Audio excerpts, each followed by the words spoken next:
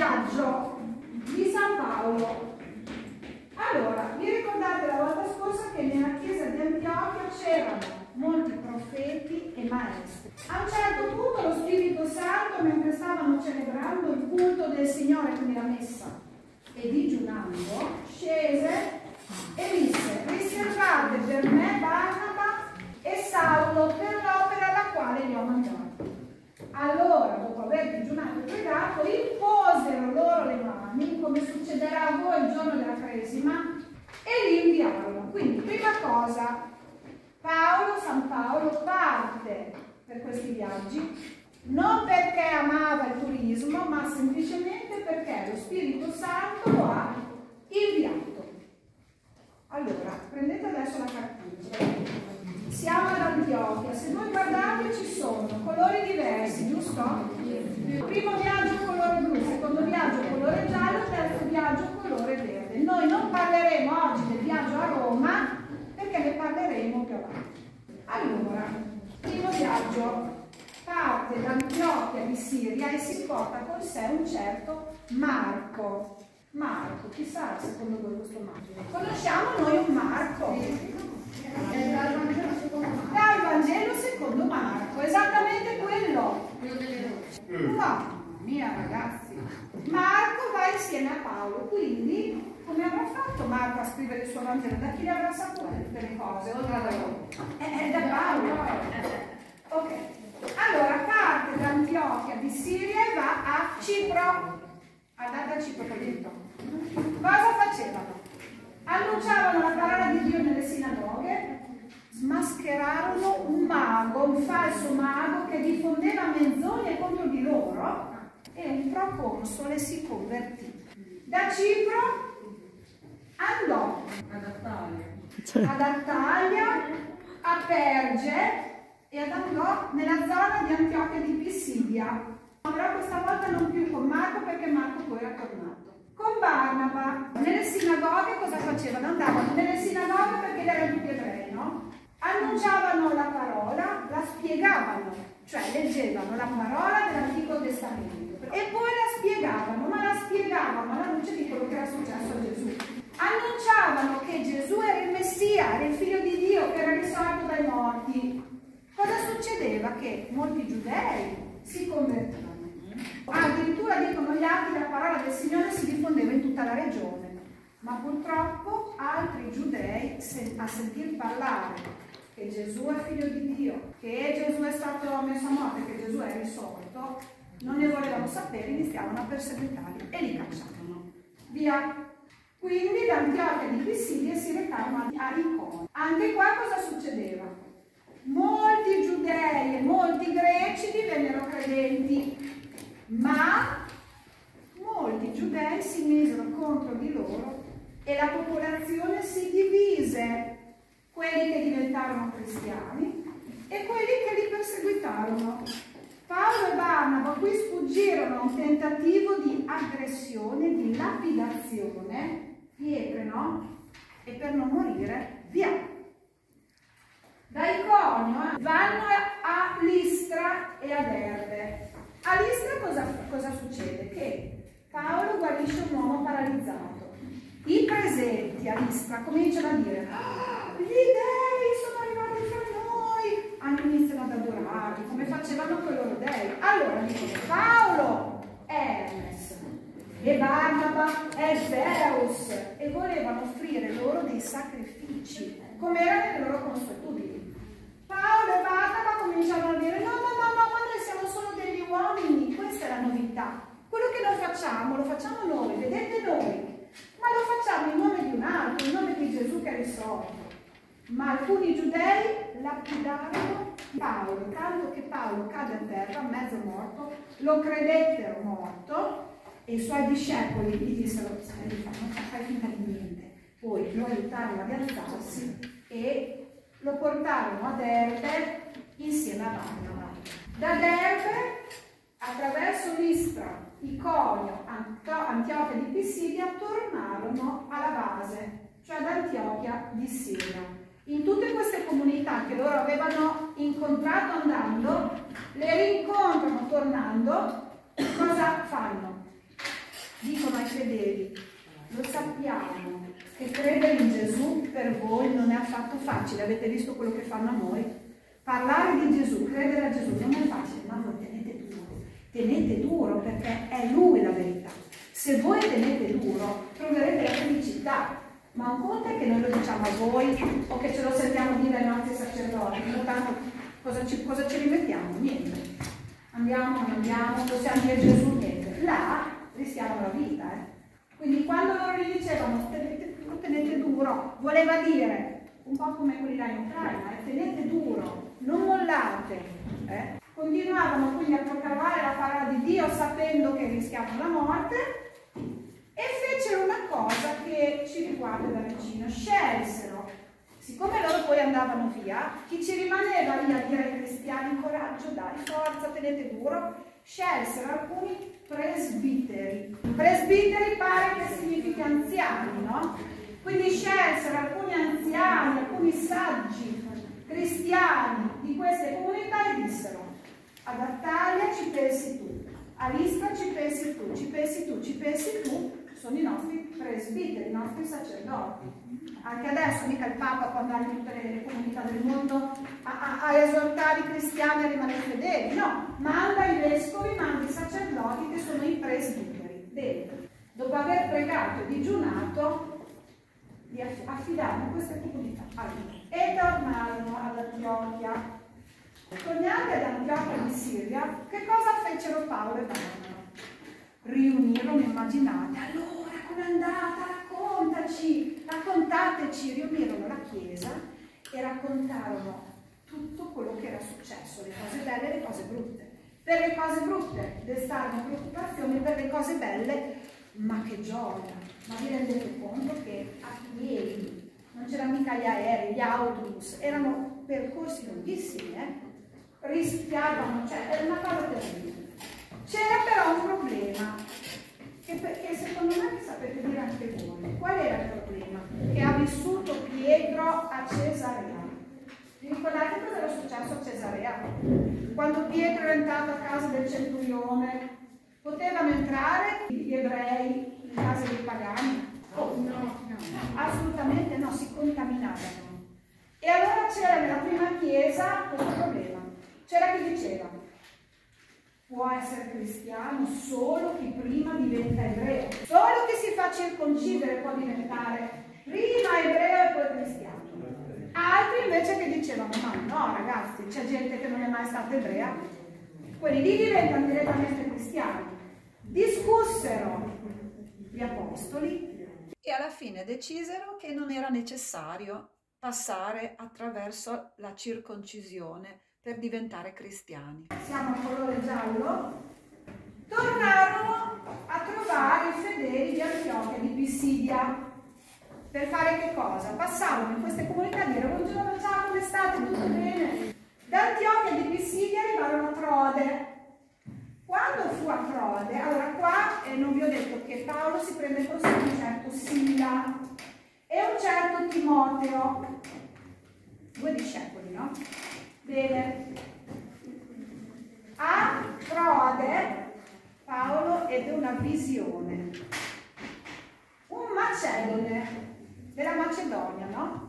Che lo supplicava, ti prego, vieni in Macedonia, aiutaci. Allora Paolo dice, oddio, devo andare in Macedonia, qua c'è bisogno di noi. Bene. Da Trode quindi vanno a Filippi. Come ben sapete Filippi è in Macedonia, giusto? Cosa fecero a Filippi, che è una colonia romana in Macedonia? Restarono alcuni giorni. Al momento della preghiera del sabato, ricordatevi che il giorno degli ebrei è il sabato, andarono lungo il fiume e annunciarono il Vangelo ad alcune donne. Lidia, che era una commerciante di porpora, si fece battezzare e li invitò a casa sua. Paolo in questa zona liberò una donna da uno spirito maligno, però cosa è successo? Per questo miracolo che lui fece, si misero tutti contro di lui, iniziarono a, a perseguitarlo, lo incarcerarono, lo misero in carcere, però poi fu liberato miracolosamente, furono condotti dai magistrati che li liberarono, sapete perché? Perché Paolo era un cittadino questa cosa che lui era un cittadino romano è una cosa che gli è servita tantissimo a salvarsi. Bene, da Filippi andarono a Tessalonica, come ha fatto andare a piedi, a piedi, anche navi. Sì, certo, certo. E a Tessalonica Paolo e Sila annunciarono il Cristo, a partire dalle scritture, dall'ebreo. Molti greci e molte donne si convertirono, ma molti giudei li fecero arrestare perché dicevano che andavano contro l'imperatore. Voi dite che bisogna adorare solo Dio, allora ricordatevi le cose che abbiamo detto eh, su Roma, no? allora siete contro l'imperatore, chi è contro l'imperatore nell'impero romano viene fatto. Furono aiutati a fuggire e andarono a Berea. C'erano Entrarono nelle sinagoghe, molti greci, giudei, donne, nobili e entusiasti si convertirono. Ma c'è sempre qualcuno che rompe le scatole. I giudei di Tessalonica, da Tessalonica andarono a Berea ad agitare anche i fratelli di Berea, quali avrebbero accolti benissimo, ma vennero da là a dirgli non credeteci a mettere discordia. E anche qui, via. Paolo fu fatto partire per Atene. Sapete dove è Atene? La città di Atene, voi avete fatto i greci, c'è chi ha fatto anche l'Odissea, eccetera. Era gli dei greci, ve li ricordate? Chi sono? Zeus, Atena, Afrodite, Ares, Era, ragazzi, Apollo. Allora, per i greci, Apollo, per i greci dei erano intoccabili, erano loro sull'Olimpo che governavano le vite dei uomini. No? Immaginate questo Paolo che arriva da viandante e inizia a dire vi annuncio io chi è il vero Dio, non sono i vostri dei, lo dico io chi è il vero Dio. Secondo voi? Ma loro che erano boh, l'hanno ascoltato, sapete quando è che hanno iniziato a storcere molto il naso, a cacciarlo via? Quando Gesù ha iniziato a parlare di resurrezione dei morti. Paolo. Ah, è Paolo. Paolo ha cominciato a... Eh, quando Paolo ha cominciato a parlare di resurrezione dei morti, questo hanno detto, beh, su questa cosa ti sentiamo un'altra volta. Ciao ciao, ti salutiamo. Ciao. Via. Da Atene andarono a Corinto, questa parola vi fa ricordare qualcosa? I Corinzi. Ah. I Corinzi. I Corinzi, è che sentiamo parlare dei Corinzi noi a messa? Dalla lettera di San Paolo Apostolo ai Corinti. I Corinti sono questi, eh? Lui prima li ha Corinti o Corinzi è la stessa cosa. Lì anche Tessalonicesi. C'erano Aquila e Priscilla che lavoravano come fabbricanti di tende insieme a lui, perché Paolo di mestiere faceva il fabbricante di tende lavora con loro, poi fu perseguitato a causa dell'annuncio del Vangelo. No, che novità. Poi andò da Corinto a Efeso, si recò a Gerusalemme e poi ad Antiochia di Siria. Anche qui molte conversioni, molte persecuzioni. Poi cosa fa? Dice aspetta che vado a salutare Pietro e gli altri apostoli, quindi si, può, si ferma un attimo a Gerusalemme, ma dopo Gerusalemme torna ad Antiochia secondo viaggio. Arriviamo adesso al terzo viaggio. Le date sono, qua siamo dal 53 al 57 d.C. Da Antiochia di Siria cosa fa?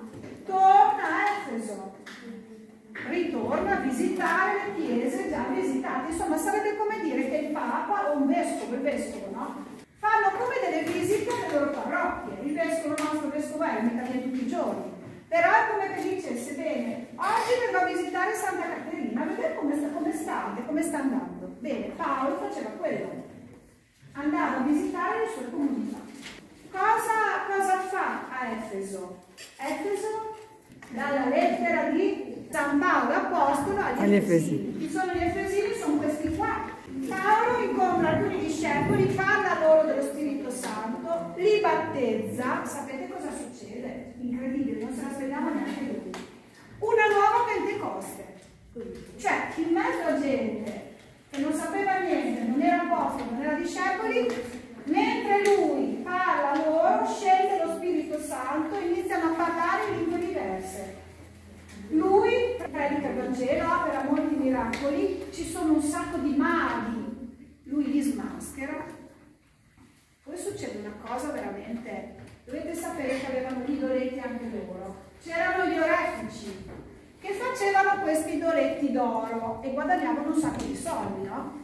Secondo voi uno che va a dire c'è, uno solo che è il vero Dio e non è un idolo.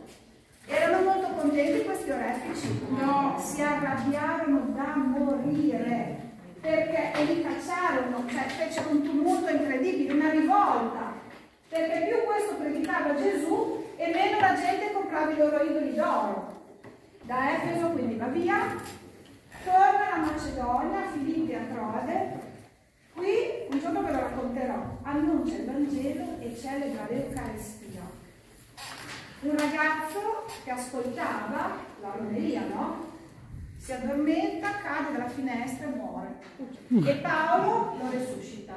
Da Trode Paolo torna a Mileto e quando qua ne parleremo ci sarà un momento ragazzi straziante, straziante, perché qui Paolo manda a chiamare tutti gli anziani della chiesa di Efeso e perché sente di dover tornare a Gerusalemme e sente che sarà l'ultima volta che li vedrà.